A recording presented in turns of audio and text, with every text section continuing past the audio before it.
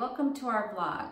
It's Jacqueline DuPont, the gerontologist, and I'm here today to talk about the transition from either home or from another facility to memory care and how that can be very challenging and really what are some key points and um, what are some, of course, lists of items that we need to really review before you do choose a facility. Then after you have chosen one, how to prepare for that move and how to talk to your loved one about it because that's the most difficult part, I think, with so much feedback I get from all of you. It seems like that that transition part of it is very difficult, telling them or maybe not telling them.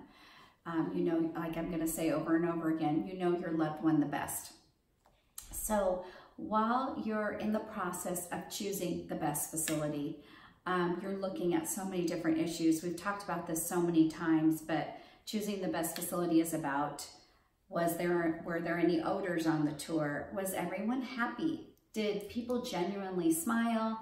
Did they look like they liked their work? Did they introduce themselves? Um, did you find the food to be appetizing? Did you think that they really understood memory care and food and the dining process? Did you think that there were a lot of activities going on? And were there different levels of activities? Were there levels for mildly impaired, older adults, moderate, and later stage? Because everyone is at a different stage in the disease and needs different care. Um, did they have a physician on staff? If they did, does he just show up once a month or is he or she coming once a week? Do they have a psychiatrist they can talk to or come out and see your loved one? Is a psychiatrist needed? Um, do they take HMOs? So many of you do have an HMO and it's difficult on some facilities to actually service an older adult with an HMO. Um, and if they have an HMO, how do they get home health? Is home health brought to them? Uh, do they have a lab that comes out, a chest x-ray that comes out? Do they take hospice? And if they do take hospice, how's the coordination with the hospice agency that you may be looking at or that your loved one's already on? How's that coordination? Would they work with that hospice? Um, do they work with their social workers? The social workers are critical. So um, if your loved one is on hospice in any any part of the aging process, say they're living at home, living in another facility, and you want to move them, it's really critical to talk to that team. Hospice is in charge of their care. So please talk to the social worker, the case manager, the nurse, and get everyone on board um, to understand why you are moving. And they can also help prepare you and prepare your loved one. So after you've chosen the best facility, you've asked questions to maybe the executive director, how long have you been there? How long has your team been there? So the upper management team the activity director, maintenance director, um, let's say uh, director of memory care or charge nurse or whatever they call their title, wellness, whatever it is, those people have to have had some longevity in the organization. Make sure of that. And if they are brand new, maybe they moved from Nevada to California, but they had really nice experience and have been working in our field for a long time. That's always fine. But if everyone's new, it's a little bit of a red flag. So make sure there's some longevity. And, and then you discuss with your family, um, make your decision, and you've made the decision that you want to move your loved one. There are some preparations prior to move-in. So in memory care, you may have a memory box or a door.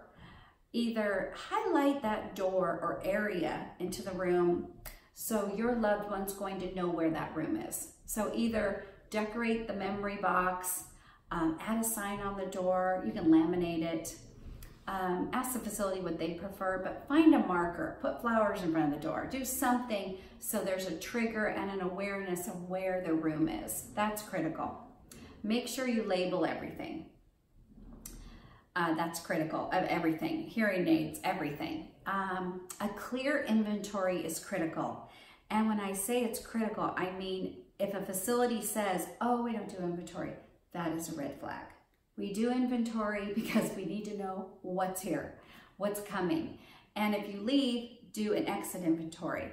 Now, a lot of times um, you may have valuables, rings, whatever, no real jewelry. Please no valuables. It's not that anyone would steal them. It's that they could be misplaced by your loved one or another resident who comes into the room accidentally, which can happen in memory care, and takes it for no ill reason. So we just really want to make sure valuables stay at home. If they have a very favorite ring, you know, try to get a fake one that looks exactly the same. That's really critical. But to be all transparent, filling out the inventory sheet's critical. Again, so um, when you're going to uh, know you picked the room, you've selected it, and you, you know the specifics, the rules and regulations of that community, because everyone has different policies.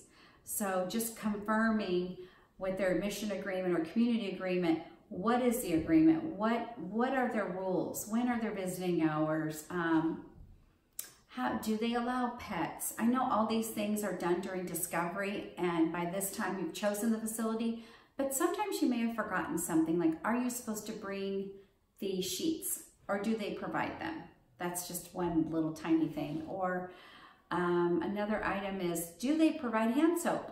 I mean, you don't sometimes think about it, but you think, well, they probably give you the paper towels and the hand soap, but they may not. So all of that should be clarified up front and now you've, you've chosen this wonderful place and you need to somehow let your loved one know the transition is going to be made.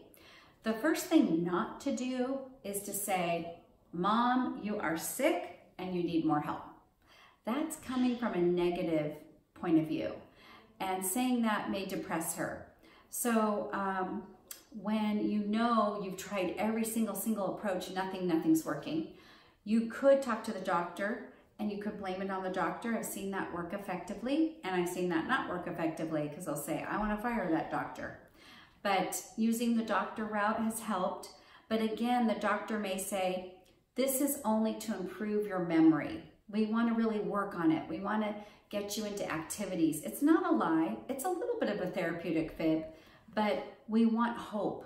We want them to feel some hope like wow maybe i will get better eating in a group setting dining um, hydrating and meeting lots of new people and friends maybe that will help me so come from a positive viewpoint try not to go to the right away um, you need more help you need 24 hour care you can't live alone all those negative things just say try first you know let's really try to go to a place where we might be able to work on things to get you better and healthier. And if you improve, of course you're going to come home. And that is the truth. If your loved one is going to improve, which some do, a very small percentage, but some do, and they do go home because they are getting great hydration, probably excellent physician visits, and all these things are getting into a routine for that person with memory loss and they may improve. Now, if they go home, they may decline again because there's no structure unless you're setting up the same program. So anyway, these are all tips. The most important tip I can tell you is just try to be positive. Number two, try your very, very best not to order them around. Um, know your loved one. If you know they're gonna come visit and they're gonna freak out and they're just gonna go, oh my gosh, this is too much, I don't know where I am, and just get more and more anxious, then don't bring them ahead of time. But if you know your loved one and they're just forgetful and um, a little bit agitated here and there, bring them at their good time of the day and show them the facility. And they may look around and go, wow, this is kind of nice. Or there's some nice people here and I'd like to meet them. You never know. So you can try a visit ahead of time or you can decline it. It's really, there's no way around it. Some experts say it's the best thing to do and some say it's the worst thing to do. What I say is you know your loved one and you know how you've been around them enough to know. Um, if you haven't been around them enough and they live in another state, I would say a pre-visit isn't necessary. Try the day of and then show them around really well. Have the room prepared, have all the items we talked about, and that should um, make for a smoother transition. If your loved one is totally not going to agree to this and you know this is difficult, they are a hazard to themselves, they are not getting the hydration and food and care they deserve at home or in an environment, you may want to then have to call the doctor, have to get other support around you to make this work. You may need a social worker to help out. Um, you may need to talk to their physician and take them to the doctors ahead of time and say to the physician, how can I make this as smooth as possible? And he may have some ideas, but reaching out and getting help is really the key. So don't be afraid. Everyone's going through this together. We've all been through this with our loved ones and asking for help is really necessary if they are really, really reluctant to move. So thank you for tuning in today. And if you have any questions, feel free to always email me. Thank you.